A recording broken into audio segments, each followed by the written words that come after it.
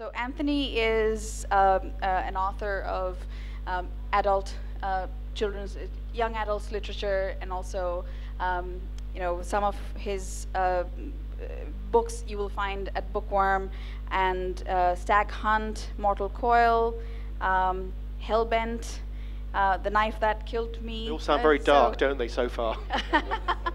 so I'm, I'm sure you know there's a lighter side of that there as well. And also he's written for yeah, younger children and adults. Um, and we'll get to know more and, um, about Tony.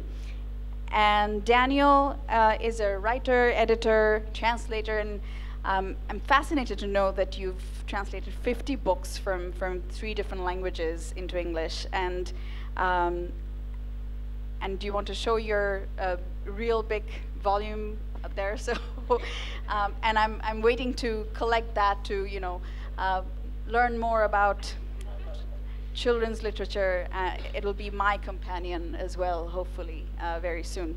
So, uh, you know, before we begin, I think uh, we also have, I think we also have some children in the audience. Um, so just wanted to find out, because children's literature is something that, um, as a publisher, it, it interests me uh, to know more about what children read nowadays, what they're interested in, and what I grew up reading. So, and of course, you know, we, we definitely read different things when we were growing up. So uh, if I may start with Daniel, um, you know, how, how do you see that, you know, what children read now and how you read as a child uh, is different?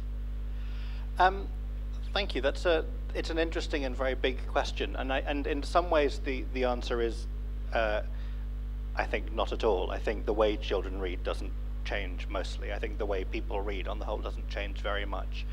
Um, I think there are some differences, not least the fact that the the kind of scope of what's published for children, the amount of it and the range of it is so enormous now in a way that wasn't the case when I was a child 30, 35 years ago, 40 years ago.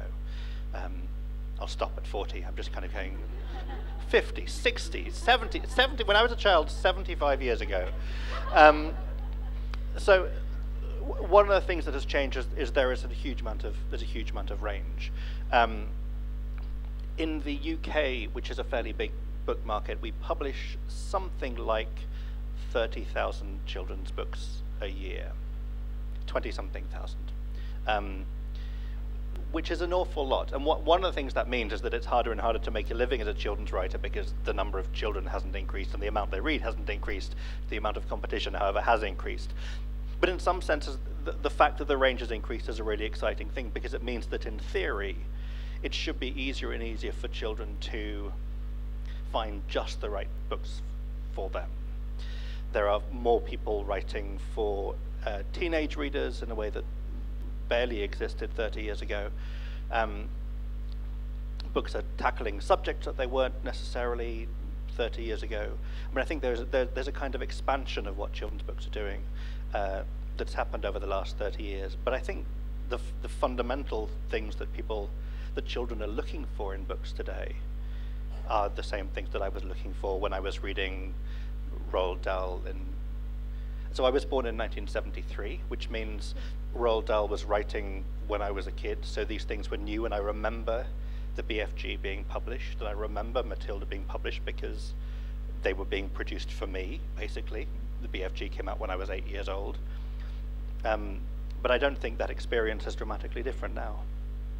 Okay. So, um, would you say the same thing uh, since that you would be slightly boring, wouldn't it? I said exactly the same thing, but. um, um, it was quite no, boring the first time. You could, you could improve on it. You, you could rephrase it. Um, you thought my answer was um, boring. I can't believe it. We're from rather different backgrounds, and my experience of reading as a child was completely different. Um, I was from a house without very many books. Uh, and so when I was a younger child, my experience of stories was through my, my, my father telling them to me. I'm one of five children, and my dad would, uh, at the end of the day, he'd lie in, in, a, in, our bedroom, we'd all lie around him, and he'd tell stories that he was basically making up. Um, after that, I became obs obsessed as a, as a, little boy with, um, with facts, facts about the world, especially facts about, about warfare and facts about animals. And so I filled my head full of, of those kind of things. On the, on the way in here from the, from the airport, we, we, we went past, uh, I think it was a, the, the Bangladeshi Air Force Recruitment Center, and there was a, a full-size um, aeroplane there. And I, I instantly knew from my, as a, as a seven-year-old exactly what kind of aircraft it was. It was a, a MiG-21. I could have told you its armament, its top speed. So I had all of those, and also facts about animals. My, my, my main reading, actually, as a boy, was something called the Guinness Book of Animal Facts and Feats, which is simply a list of grotesque and disgusting facts about animals. Uh, and I can still tell you that the tiger that's eaten the most number of human beings, it's a terrifying number. Um, so, th th so that was my kind of background as a younger child, when, when you were reading Roald Dahl.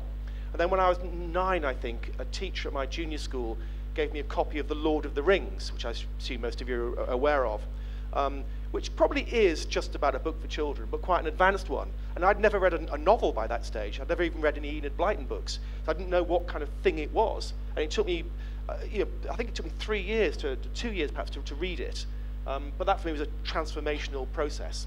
Um, and, and then so as, a, as a reader, I had that slightly odd experience. And then, then as a, um, but later on, I had that terrible thing that happens to human beings happens to me, and I, I had children, and so I, I, I, um, I spent a lot of time then reading to my children. So, my main experience of the classics of children's literature, like Roald Dahl, was as a reader to my children, which was an, an incredibly wonderful thing to do. And you, you know the books that work and the books which don't by the amount of wriggling and squiggling you get from your child. And when a book really captures them, they have that, that thousand yard stare when the world is being created in front of them or they've just filled their nappy. It's one of the, those two things, usually the, the thousand yard stare. Sorry. And you also discover, presumably, what how the, the younger ones work as well, because when you're reading to your kids, when you're reading a picture book and you have to read it for the 793rd time, you can really tell. And some of them are actually bearable 793 times, but many are not. So, Lord so of the Rings, I would. Um, We may have to talk about Lord of the Rings at some point because I hated it with such passion. Um, it's, a great, it's a great reaction. it was mocking laughter. I said I hated it, so there, and you're not going to persuade me otherwise. So uh, I, am glad you mentioned about your father, and then you're you're also now reading to your children. So you know, how do you also have to do as as a writer? Do you also have to keep in mind whether you know there isn't much of parental con parental control nowadays, is there? I'm I'm not sure, but you know, what's your experience in your writing and your you know selling your books and or getting feedback from your readers? That is there um, you know do do parents um, have a role to play and, and how does it work? Well, it's it's um, I, I, don't think there is necessarily quite the same amount of control of what children consume generally because children have access to the internet and so forth. But there's still an issue which comes up a lot when we're talking about children's books in the UK um, of what we talk about as, the, as gatekeepers in children's publishing, which is to say, for Tony to write a book and a child to discover this book and love this book isn't simply a matter of him writing a book and giving it to them and them loving it. There are, you know, 93 other people who have to approve of what he's done on the way, all of whom are grown-ups. Um, which as publishers, it may be parents, it may be librarians, it's people who buy books, it's people who commission books in publishing houses. And this isn't necessarily a bad thing, or it's not in every case a bad thing, but it does mean that there are, there are certain controls over what gets to children. There are grown-ups deciding which books will have a really big marketing budget and which books will disappear quietly and we hope no one finds them, you know. Um, and so there is still, even though children have much more direct access to a lot of what's happening in the world through, through because of technological advances and so forth, um, there's still, I think, a sense that one of the things that makes the children's book, the children's writing world, different from most other kinds of writing is there are these various stages at which the process of the book is either sped up or impeded by people who are not the target readers. Most people, I mean, it's slightly different if you write for teenagers, but if you write a book for three-year-olds or five-year-olds or seven-year-olds, it's not the three-year-old who goes into a bookshop with their credit card and buys it. Um, they possibly buy things on Amazon with credit cards, but I'm not sure whether that's uh, whether that's encouraged. So that's you know precisely why I was uh, you know wondering whether you know how do you navigate through all these you know 93 gatekeepers and um, you know finally reach with your ideas to that three-year-old or that 14-year-old that you're writing for. Well, I, it might help if I explained how I got into publishing, and my approach came, came from that. That um, I, I'd, had a, a, been thought that I would be a writer for quite a long time, and essentially failed to do that. And I ended up doing an incredibly tedious job, um, working for the government, everyone's nightmare, kind of boring and tricky job at the same time. And I, I thought of an idea for a story, and it was at a time when the concept of YA or young adult literature first started to circulate in the press. But back then, I, I without I didn't research it properly. I, I assumed that, that YA, young adult, meant people who were actually adults, but just young adults, so people in their 20s perhaps, as I was back then. So I, I, I wrote a book um, called Hellbent, which is about actually a teenage boy who dies and goes to hell and is subjected to all kinds of humiliations in hell. It's a, it's a sort of dark comedy, um, but it's a very, very adult comedy. It's uh, full of scatological humor and complex philosophical discourses, uh, and uh, in this context of, of, a hellish punishment of a teenager. Um, and I sent it off thinking that it was a masterpiece. It got universally rejected, um, often not even personalized rejections, but dear sir, stroke madam, your book, stroke novel, d- d- delete as necessary. Um, but eventually, uh, via an also complicated process, I, I, which involved um, having a virtual sex change and writing popular fiction for adults, I, I got that book published. Uh, but it had it was slightly cleaned up and then sold as a book for teenagers, YA. Um, so I find myself without really meaning to be a, a, writer for teenagers and without having really focused on it. Um, and then after that point, I really did start to think about how do I engage with teenagers. For me, that was mainly a process of, of remembering what I was like, going back in time and praying that those same concerns were still relevant now. Uh, and then what happened to me was after writing a few teenage books, I, I, had the children that I mentioned earlier on, and then began to write, write for them. So my work seemed to be getting, getting gradually younger. I did fear that eventually I'd end up writing those, um, those padded quilted books which babies wipe their drool on, with a picture of a carrot on every page. That would be my, my destiny. It still, still might be. So, um, yeah, but just, so I became a children's writer without really meaning to be one. Um, but I, I, the way I try and go about that now is by um, well, there's two paradigms that you often encounter about the writing process. Um, and there's one that, that views writing as being um, a sort of internal process, almost like, like producing and, and laying an egg. Uh, uh and your, your, your, focus is inwards, and you have this, this great work within you, um, which you then present to the world, which I always think a bit like um, when your, your, your children are learning to use the, the potty for the first time and you try and encourage them, and finally they produce this thing and they show it to you, and they're very proud of this thing that this was inside them is now outside them. So that's, the, that's that internal paradigm of creativity. But I prefer to think about it as a, a conversation, that, it's, um, that, that, reading and writing are a, a collaborative process. Uh, and so, you, you, know, as a reader, you've got to create, you, you turn our words into worlds. So that's a, a, creative act in itself.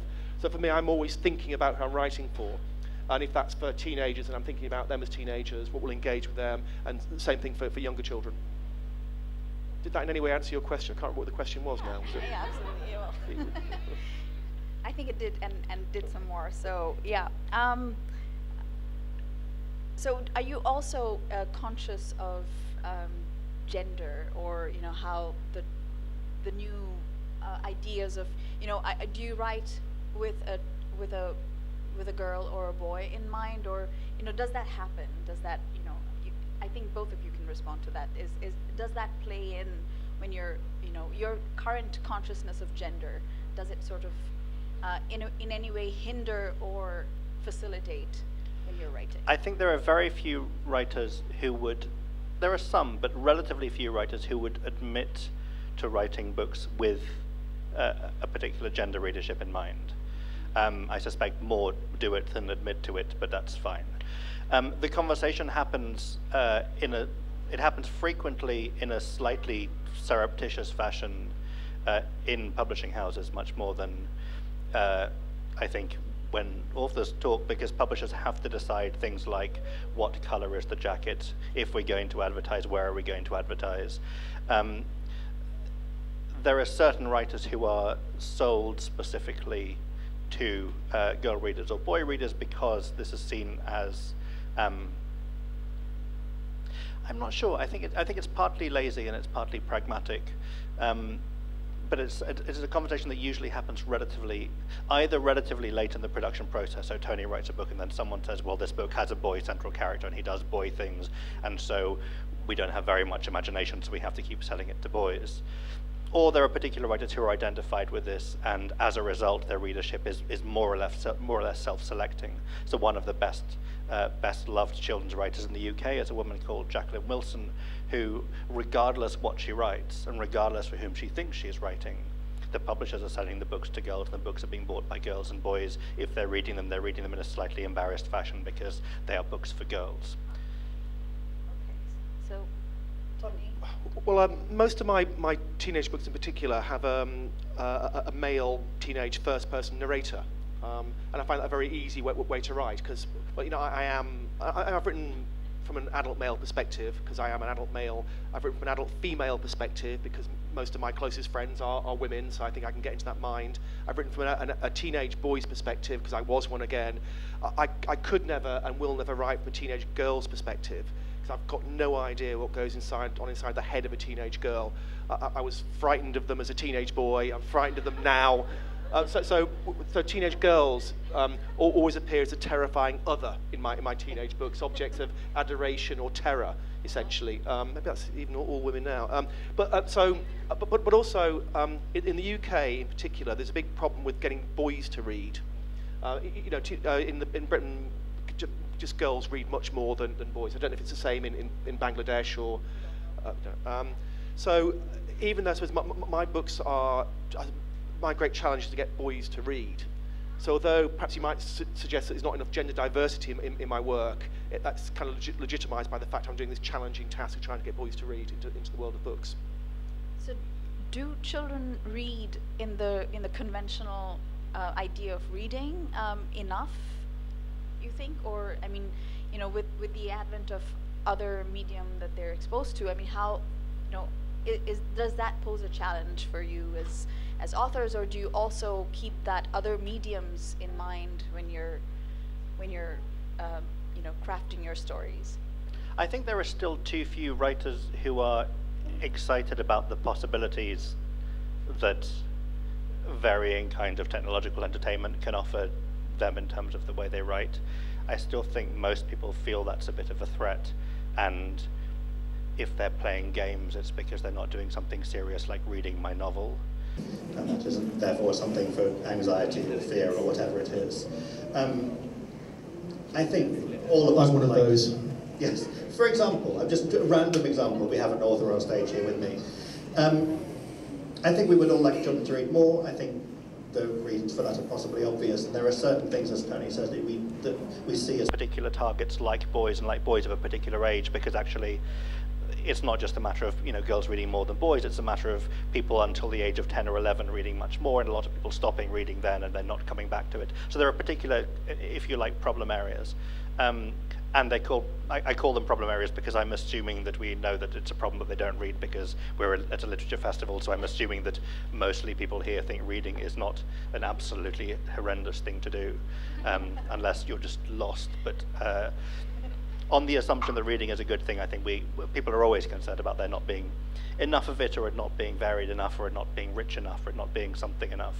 Um, but there are still a lot. As I said, we publish a huge number of books, and some some of them are, are still being read, but even selling some. I mean, not very many, but some.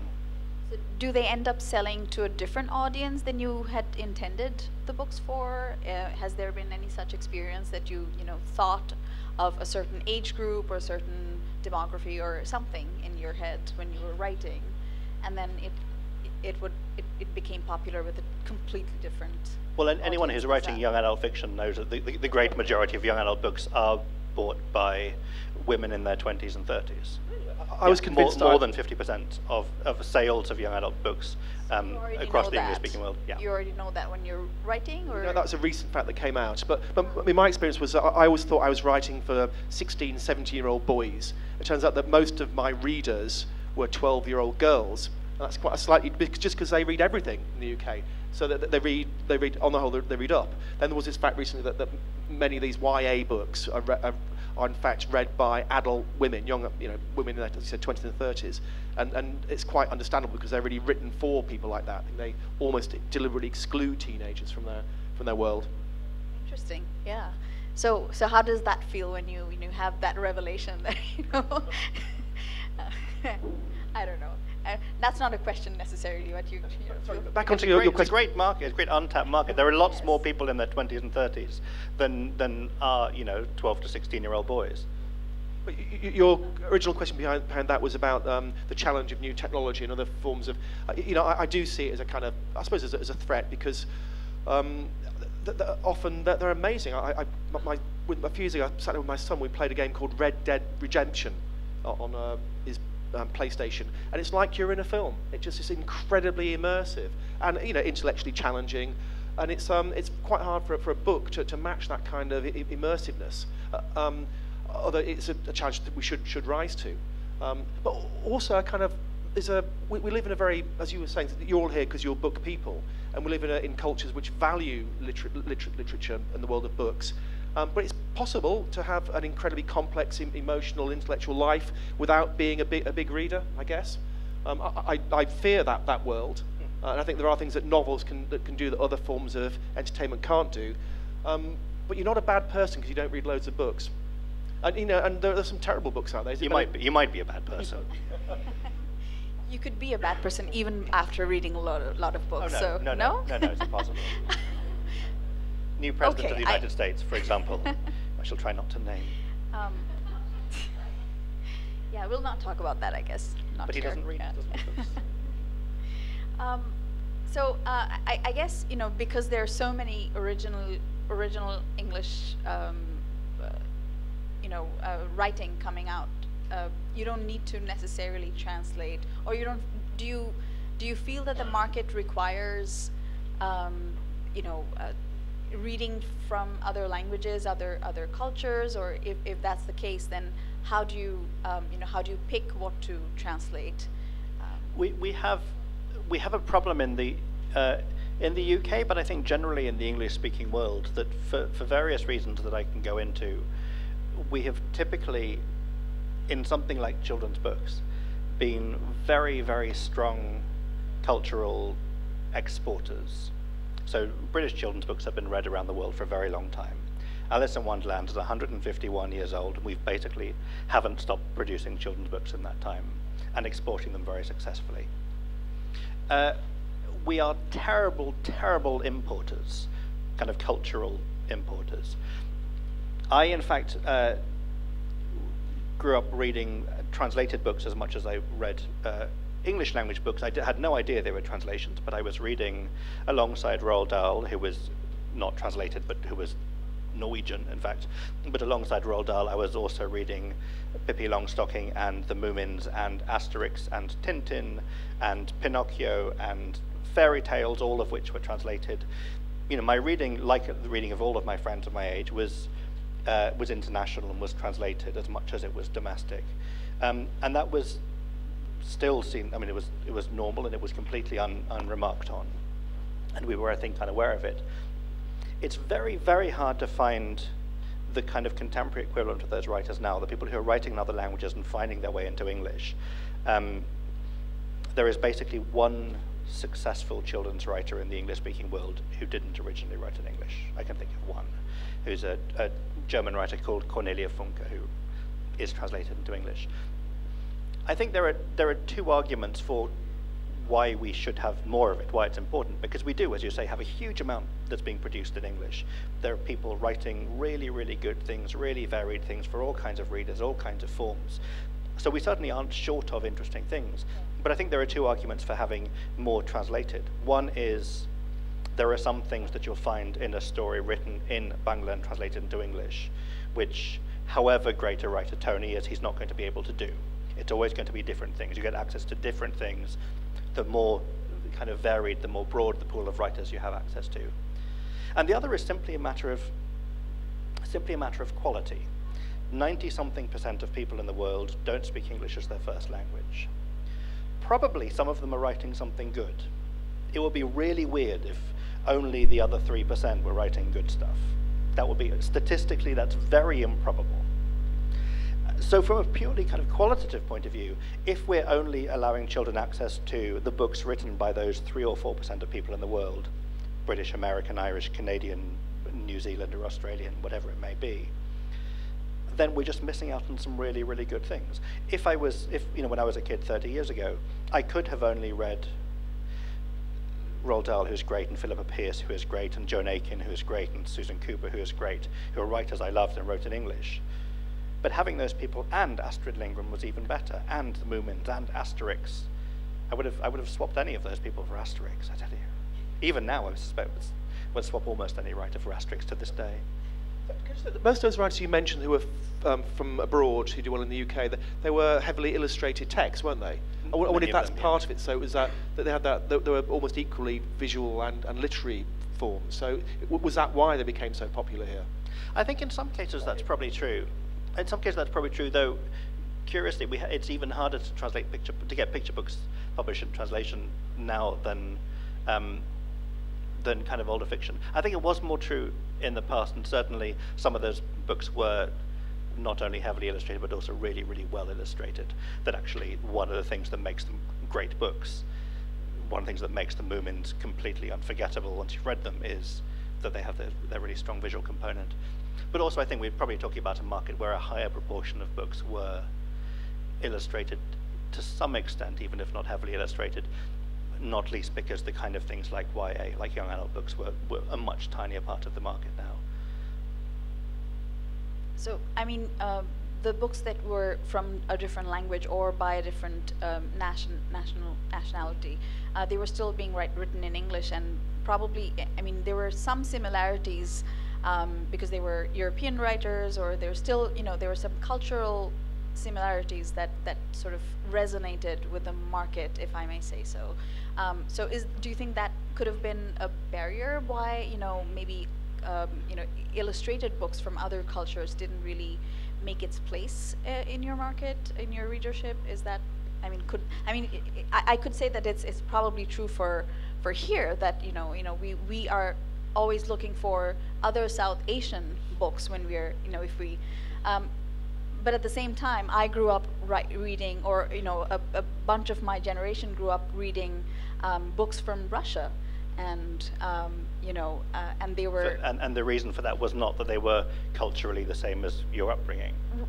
They weren't, but but at the same time, I mean, you know, they were they were animals in, in those books yeah. a lot. So it, they didn't have to have to have a skin color, of course. So, um, so is that is that something that may have you know, besides the fact that there's already a lot of material um, in the market locally generated. Is, is, could that be another reason? I don't, I'm just wondering. I'm sure that's part of it. I'm sure the, the fact that, that these things are steeped in their own cultures is, is part of it.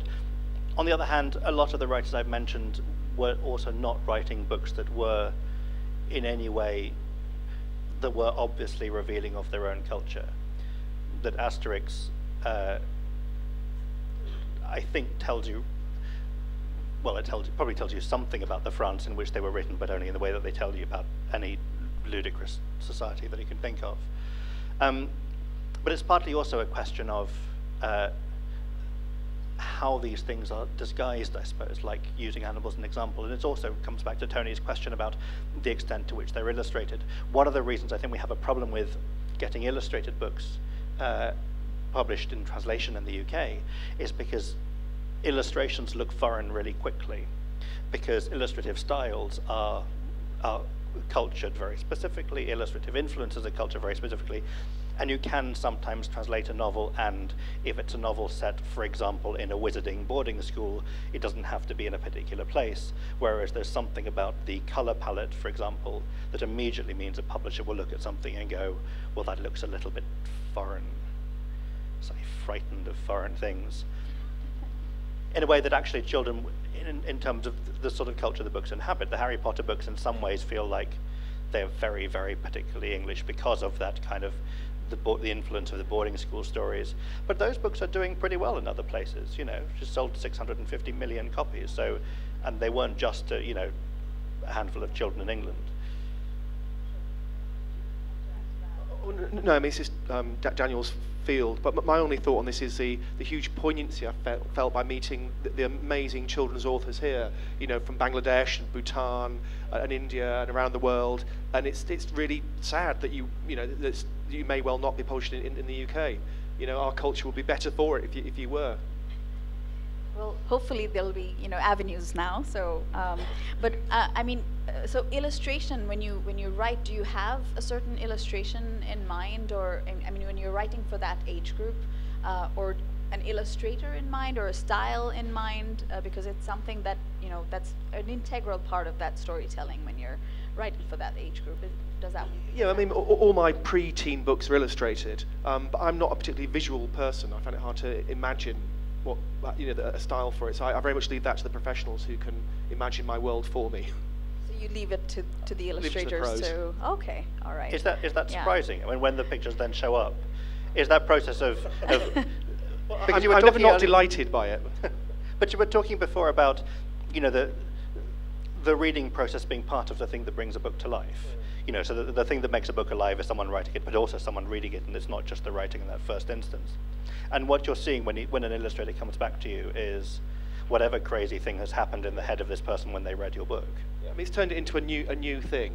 Uh, I suppose a, a, vaguely similar feeling to uh, one of my books, The Knife That Killed Me, was made into a film. Um, so then an entirely visual media.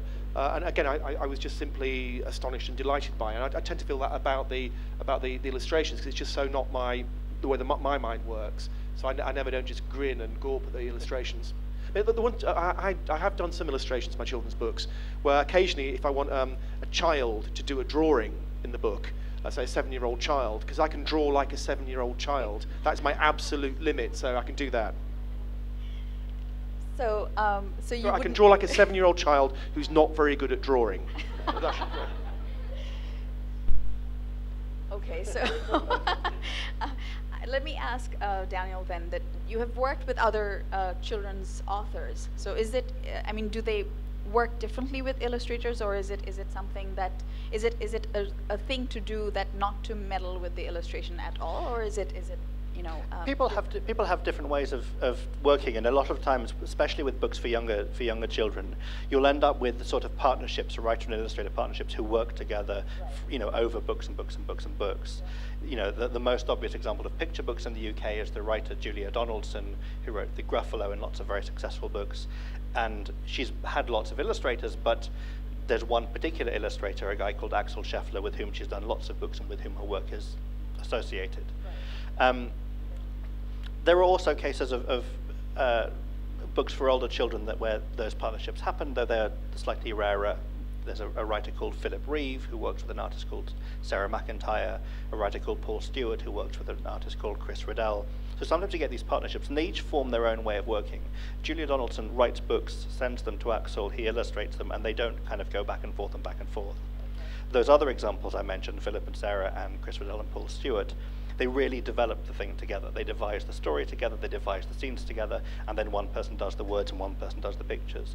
But it's partly to do with, I think, the kind of comfort of how well that relationship works. And also, it's probably, it's to some extent, to do with the kind of background the writers have. There are some writers who like writing and sit quietly and produce this thing which is ready at a certain point, and then they don't want to be told to change anything. the egg. Or the yeah. Yes, exactly. Yeah, I, I think you know that makes sense because I think you know um, then if if you're not a visual person, if you have somebody visualizing it for you and it, that they're doing a good job and you have that uh, comfort uh, working, so. Um, uh, so we actually did a, um, a book in, in, in Bangla. We translated it. It was illustrated by a French um, illustrator. Uh, the uh, writer was a French Indian writer, Karthika Naïr, and it was a book, book on the Sundarbans, the mangrove forest. Um, and uh, you know, I'm just sharing this because I, you know, this is my, my most recent experience of, of working with uh, a content like this. So we struggled quite a bit with the language because uh, it was originally written in French and then it was also available in English. Um, the Indian edition was in English and then you know translating it to into Bangla and you know making it appropriate for for the Bangla readership.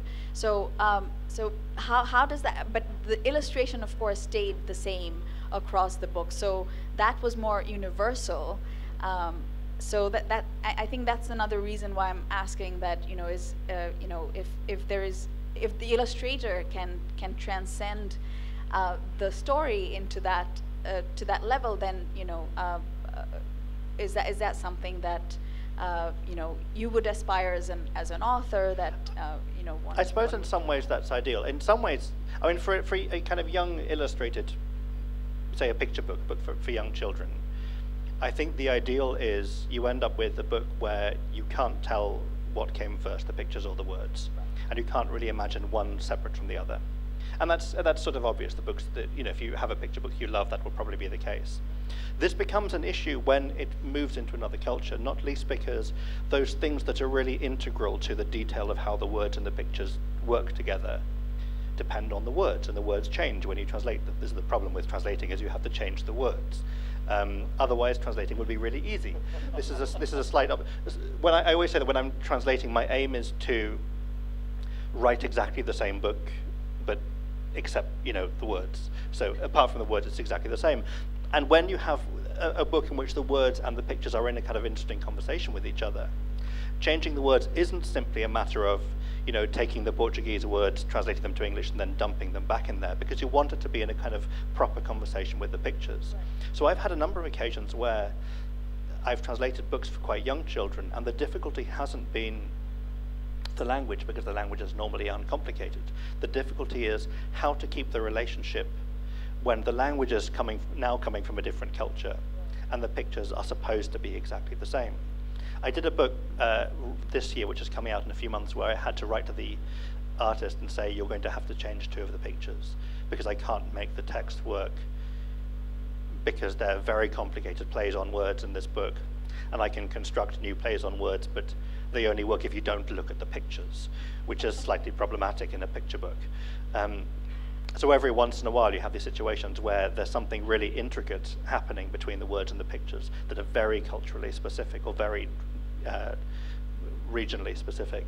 Um, and in a way that the more well well bound together those things are, the harder it is to extract it from one place and present it to readers who have a different background and a different language and a different culture. So, uh, so could there be a journey from, from the book to an interactive format? And, and uh, of course, there's a, there's a lot of examples nowadays um, that are happening. So, I mean, you know, uh, at the Frankfurt Book Fair this time, I saw that you know there were separate companies, you know, working with children's literature, transforming them into multimedia books. So, how do you react to that? I think it's a false hope, false goal. I think that you know technology moves so quickly. So as soon as you get that app out or that whatever it is, technology would have moved on again. It'll seem really old-fashioned in a way a book might well not. Um, and I, I just I any day now we're going to have a CD-ROM of one of your books. we're really excited. exactly. exactly. Have a CD-ROM. They were so exciting for about 20 yeah, minutes. Yeah. So you know, I think that the, the book is the most perfect technology ever devised, and I think there's this desperate need to be new and, and modish, and we're, we're, we're chasing a, a, ghost here. So that's only my, you know. I'm Glad a, you said that. I, am in this one respect, a conservative. okay, so um, yeah, I think you know I we could we could go on and on with this, but um, did you want to talk to the audience or you know hear from the audience? Uh, you know, uh, if if there are questions. yes. Are there questions? Yes. Sorry, it's it's really dark there, so uh, you. Really Sorry, can I just say, um, I, have got some of my books I brought from England. I don't really want to take them all back. Um, uh, I think if we can decide, if there's one really brilliant question that comes out today, a new, original, challenging, great question, perhaps you could decide. I'll, I'll give it as a prize one of my books, whether you want it or not. then I'll reserve my question for the last. Well, I'm rising to the challenge then. Uh, my question is basically uh, when writing children's literature, and I've heard this the last year I came. So, some mostly when like the stories of old times or like you know uh, past in the past. So they have a specific lesson in mind when writing. They they have this target to teach the reader, young reader, that oh, uh, they have a lesson to teach. Usually, like how do I say this? Uh, uh, that a moral that. Uh, there's yeah. a moral, right? The word is the moral. That they have a moral mind. They want to teach the children. That nowadays we don't see it like directly. I guess it's subtle. It's more. It's getting more subtler than when trying to teach the children anymore. So, uh, my question to you is, when you write for children, do you have like a moral mind when you are portraying the story or the character? And I also would like to point out that, like when I was here last year, and there was a children's writer from Africa, and she told us this, that if she wanted to get her books published as a children's book, she has to write it in such a way that it has a moral and so that it the board which usually publishes these books can actually oh yeah it has a lesson it wants to teach to children so yes i will publish it as such. She can she cannot write it like you know without any morals. She, she has to have this in mind. And that is the question i asked to the uh, daniel that is this a reality that is usually portrayed in publishing houses? Two questions, basically. I'm sorry if, um, if I I'll answer that quickly, and then I'll, I'll, let Tony answer because Tony is is um, a deeply moral writer. Um, as I'm sure you've been able to tell just from being in a room with him, everything he says is infused with a great need to moralize and improve.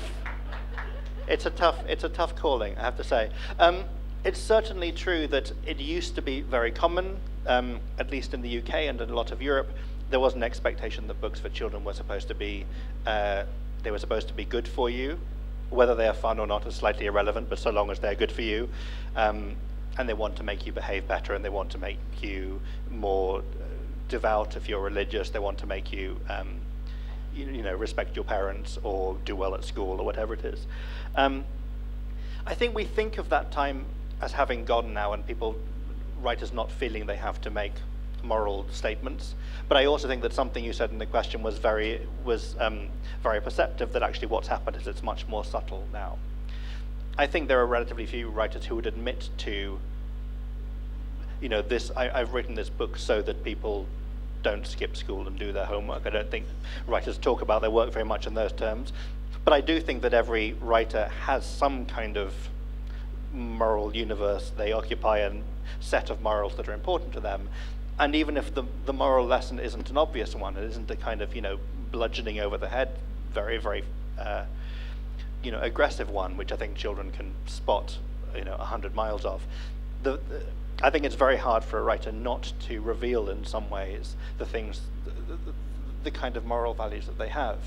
What this means is a lot of the writers I love the most are the writers who especially for older children and young adults, they're the ones who present their books. When they talk about what they're, they're doing in their books, they don't say, I'm trying to answer a question. They say, I'm trying to ask a question. The reason I've written this book is because there is this question which I think is important, and I want readers to, to, uh, to ask this question for themselves. But I think the very fact that you're choosing this question rather than that question, there is something which is implied in that. Can I re reframe the question uh, in philosophical language? It's um, can morality be an aesthetic quality? So, you know, can didactism, moral didactism be part of the, what makes a novel or work of art good? And the, um, you know, uh, many modern writers will be resistant to that idea, but there's one towering example which proves that it can be, and that's uh, Dostoevsky. You know, his books are astonishingly wonderful works of art, which do have a very strong moral message. Um, you know, the crime and punishment is, has got an incredibly moral Christian message that, that, that, that, comes out at the end. And you know, in my own work, I have tried to emulate Dostoevsky, um, particularly in the, the Bare Bum Gang and the Football Face-Off, which is my, my Dostoevskian text, um, in, in, which uh, a group of, of horrible nine-year-old boys who despise girls, um, they, they, they, form a, a gang, and there's a, a girl, one of their sisters wants to join the gang, and they, um, they, they, are, they humiliate her uh, and, and, and refuse to allow her into their sacred circle. And eventually, by a complicated Dostoevskian um, piece of plotting, she becomes part of their gang, and they learn to appreciate her for her, her herself. So, uh, uh, but the, the, point was, could, could I take that idea the, the boys learning to appreciate girls? Um, could I, can I make that a, a human drama worthy of a work of art? Uh, so that's what I attempted to do. If you just have a, a, story which you then impose some sort of moral lessons in, it's never going to be a successful work of art. But can it be integrated at that, that level of, of, of, of, of human drama, of human interaction, then it, it, can, it, can, it can work. There are also, I think, ways of, of either making things more or less subtle, or at least more or less um, suitable to the culture or the time in which a book is written. So there was an old, old children's book from mid 19th century called uh, What Katy Did. And in What Katy Did, uh, a girl has an accident and she is paralyzed, and it's all terrible, but she behaves really well and she prays a lot, and as a result is unparalyzed at the end. And there's a very, it's a good story and it's well written, it's a really interesting book, but there's a very, very obvious uh, moral lesson about how you're expected to behave in the world. That book was rewritten, the story was retold, if you like, two years ago by Jacqueline Wilson, the writer I mentioned earlier. In the end of Jacqueline Wilson's book, the girl isn't miraculously cured, because that would be silly in a book for a British child nowadays. But the story is more or less the same, and what happens at the end is because the girl is positive and good to her friends and all of these things, she learns to come to terms with it and she has a happy life. It is sort of a, a, a moral ending. Um, it's also an ending which, which has a lesson about how you behave and how people treat you and how you treat other people. It doesn't feel in the same way like it's a, a, kind of very, very strong, very unsubtle didactic thing.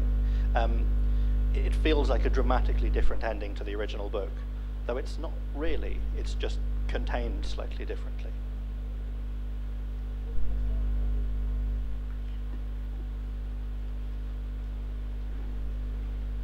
So, I'm Leonora, and I'm a writer from Copenhagen, Denmark.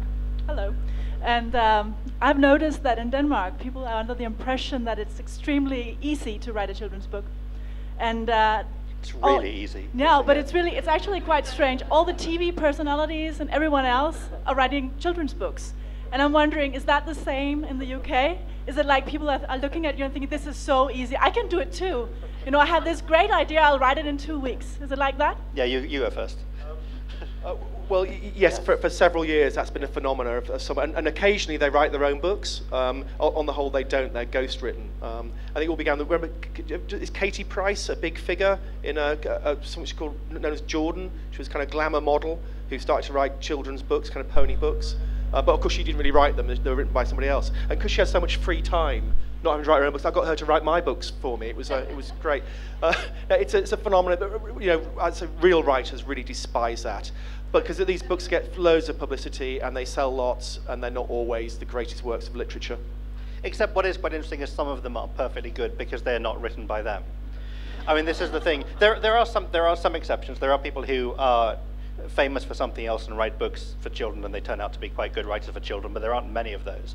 What there are quite a lot of is people who are famous for something completely because they're in a boy band and they decide to write books for children, and then the books turn out to be good because obviously they didn't write it themselves and they hired you know a proper writer. Um, I have many writer friends I'm sure you do who have you know written books by by Olympic cyclists or whatever it is for example. I'm thinking of one example. Um, but I think yes it's absolutely it, it comes from this this assumption and culture that it can't be a very difficult thing to do and it also comes from not only an, a misunderstanding of how difficult it is, but also a misunderstanding of what it um, of kind of what exists in the world of children's books. So there's a so Simon Cowell, TV personality, pop impresario, person, generally unpleasant, very famous, recently said in an interview a few months ago, uh, I've decided to write some children's books because I have children now, and I've read some children's books that exist already, and they're mostly quite bad. And so I thought I would write some children's books, and I thought um, they'll be they'll be about animals which is a new idea, but no one's ever written a book, a children's book about animals. Yeah. Wait, animals, of course. why, why in the last 3,000 years since Aesop has no one thought of doing that? Um, but yes, it's, it's, a kind of failure to understand in a way that I, I presume, I, mean, I wrote this in a column the other day, the idea that, you know, a, a, someone in a boy band or, or the brand manager of someone in a boy band would say to them, you know, you have a new album coming out next year maybe you should think about designing a suspension bridge to go with it. Because everyone has a suspension bridge design in them, and how hard can it be? And then they do an interview saying, you know, I've seen loads of suspension bridges, and mostly they're really rubbish, and so I thought I would. And the result is either they get a professional suspension bridge designer to do it, or they design they, they design one themselves. And it's easy to do, except they fall over. I mean, this is the other thing about children's books. Children's books are, in fact, really easy to write, so long as you don't care at all whether they're good or not. Um, eh, you know, it's much easier to write a bad 10,000 word book than a bad 100,000 word book, but you know, the bad ones are still bad. Yeah, slightly controversially, I, I think it is a bit easier to write a children's book than an adult book. It's not easy, but it's a bit easier. I think having having done both in my experience, they're just, they're shorter. You know, it's a bit, it comes almost that down to that. The, the picture book I just translated. I mean, it also, I think probably the shorter it gets, the easier, and then when it gets really short, it starts getting really hard because you, if you have to do something which only has 120 words in it, each of those words is really, really difficult to get right. You know, I mentioned those quilted books with a carrot on each page. I think they're probably quite easy to. Well, I'll find out. Maybe I'll fail that Yeah. challenge. Uh, I have a question to either of you. Uh, this is it's more like an advice I'm asking as an aspiring aspiring writer, is especially when you when we think of writing fantasy for uh, pre-adolescent kids, not just for young adult fiction. I mean, how much darkness can we actu- actually include? I mean, it is kind of established that we're not supposed to write too much violence or I don't know scatological humor or excrete you know excretion of bodily fluids and things like that. Pretty well all But- I write about. I'm sorry. You've, Yeah, made- but you've that is- dismissed his entire career now, isn't it? You weren't supposed to do any of that. Listen to the woman. That is that is of course for a young adult fiction we understand, especially when like Hunger Games and Harry Potter books. I mean there is a lot of darkness with death and all that. But what if when I write for 8 to 12 year old kids or maybe even younger because I used to be a teacher and I feel that children do accept a lot of that and they have the ability and the maturity to understand it but we as adults we think they don't so where do we actually strike the balance that's my question I think in terms of, of darkness and violence, even for that age range, you can go quite dark. Um, you know, we are mentioning um, Roald Dahl. His books can be genuinely scary for even younger children. Um, so I think that that's even, pretty. even 42 year olds.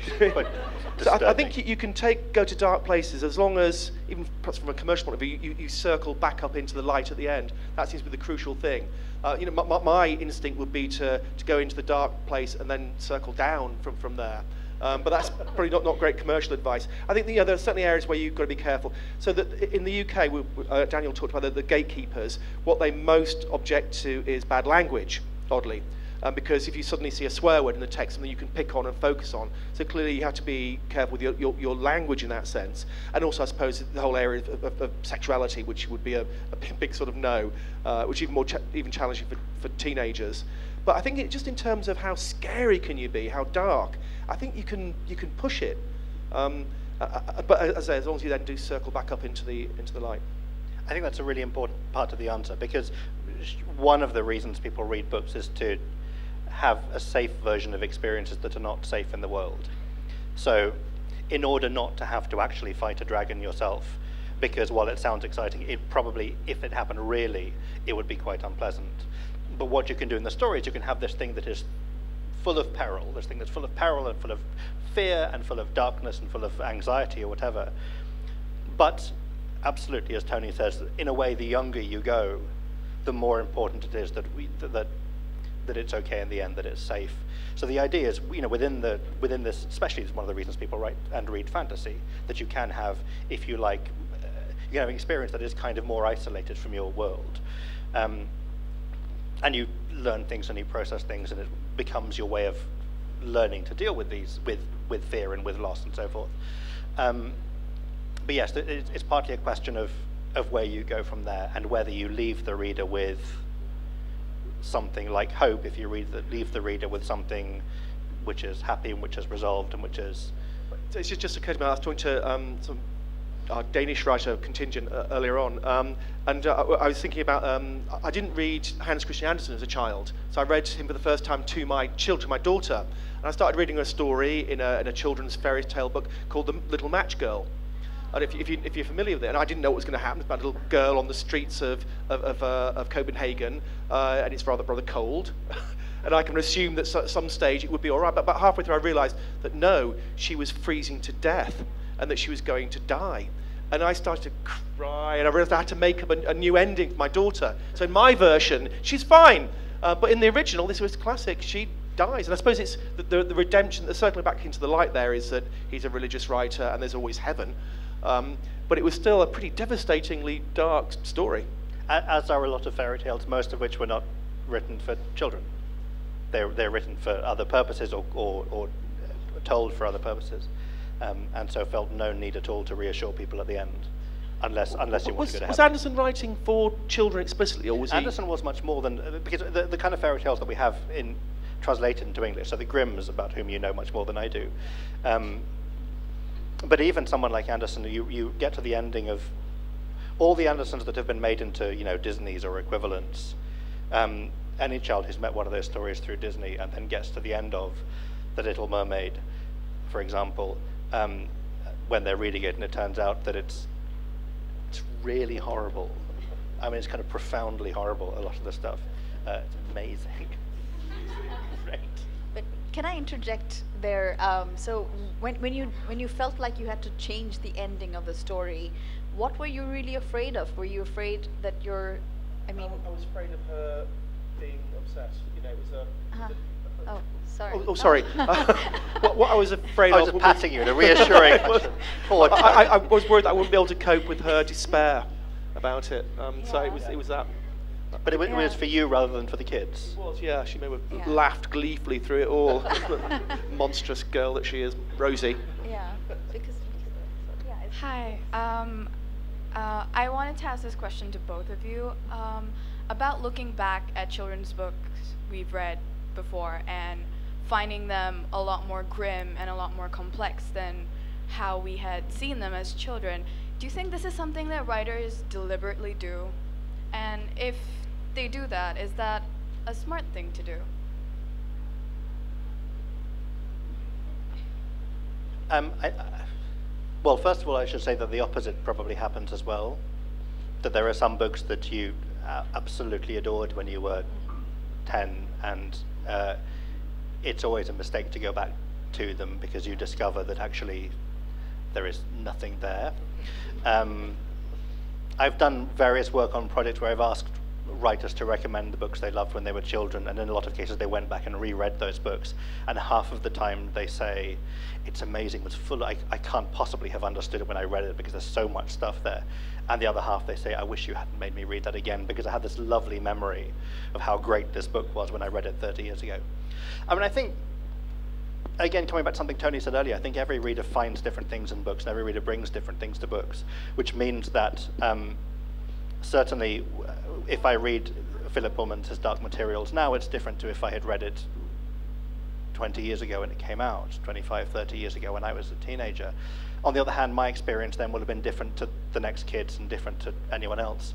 Um, not just because people have minds that are more or less sophisticated as readers, but also because people notice different things and care about different things. And one of the things that is exciting about a book like that, or a series like that, or any great book, I suppose, is at different points in, of, of your life, it'll speak to you slightly, slightly differently. I'm not sure that means, as a writer, you, you hide things in there for the 45-year-olds to rediscover, but I think people will notice different things. Your, each of your 11, 12-year-old, 13-year-old, 14-year-old readers will will you know, you know consume this thing in a different way. But also, we, we live in a post-Freudian world.